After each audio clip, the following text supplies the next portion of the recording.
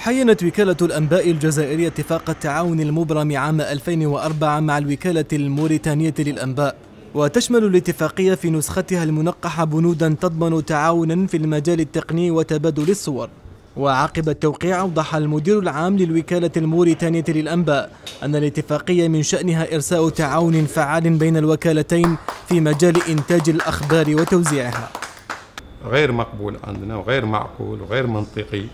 أن نأخذ مثلا خبر خبر الجزائر من من من وكالة فرنسية أو من وكالة ألمانية وبالمقابل طبعا آه، أظن أن الوكالة الوكاله الجزائرية واي وكالة من وكالات الإخوة في الدول المغاربية ينبغي أن تعالج هي بطريقتها وبرؤيتها ومن زاويتها بدل أن تأخذ الأخبار من أي وكالة أخرى. هناك الإشكالات التي نواجهها كدول وهي معروفة إشكالات الإرهاب إشكالات عدم الأمن إشكالات هي كل الإشكالات نحن ننطلق في رؤيتنا لها وفي معالجتنا لها من قواعد ومبادئ.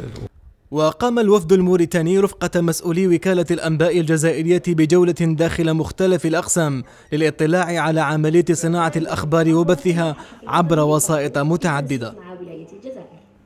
وتسعى وكالة الأنباء الجزائرية لتوسيع شركائها وفتح آفاق أخرى للتعاون مع وكالات أنباء دول الجوار.